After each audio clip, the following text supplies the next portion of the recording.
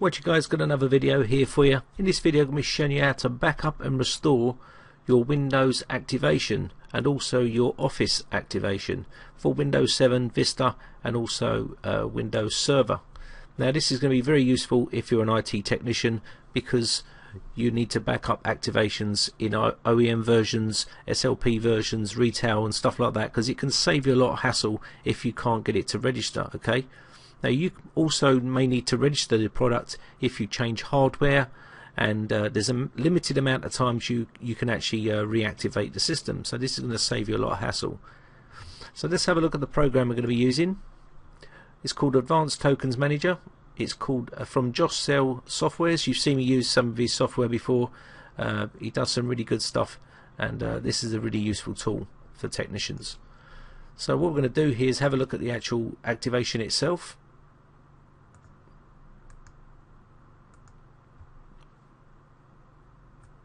And as you can see it's saying the Windows is already activated and I'm going to back this up. So let's uh, go ahead and back this up. So I've got mine downloaded already. I'm going to open it up with 7-zip just going to drag this onto my desktop.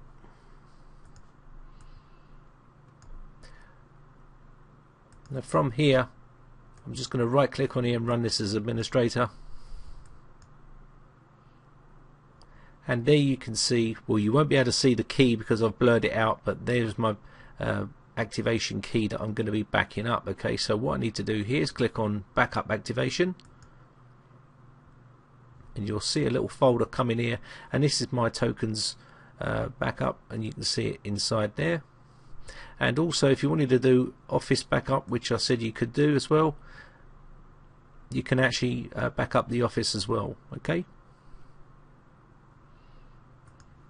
Now inside here you'll see uh, the config.ini and also the tokens.dat and this is all the information that we need to keep okay? Now I'd advise you to keep this onto a thumb drive or a network drive or something like that off the system. So if you ever have to reboot rebuild the the actual operating system you can just reactivate it.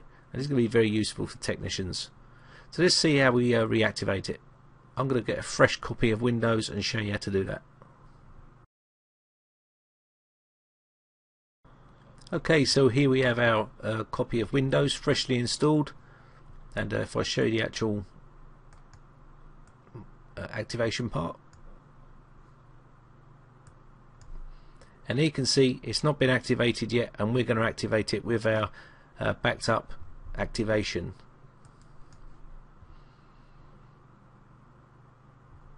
So I've already pulled mine off of my thumb drive and here we have our activation part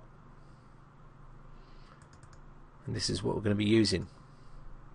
So what we want to do is uh, going to right click on this and run this as administrator. Say yes to that. And it should recognize that it needs to be activated. And as you can see there it says it needs to be activated. So we're going to restore activation.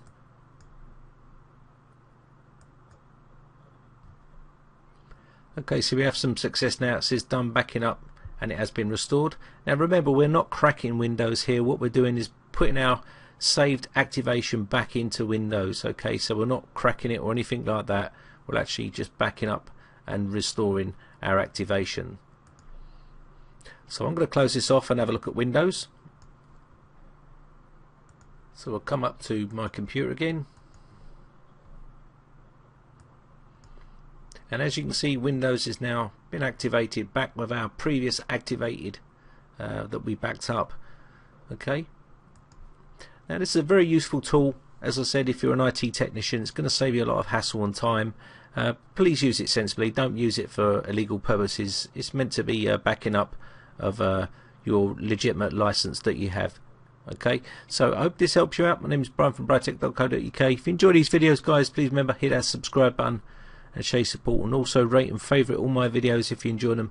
And I'll be making more videos again in the future. So if you've got any more video requests send me a message and I'll do my best to make that video for you. Thanks again for watching guys. Bye for now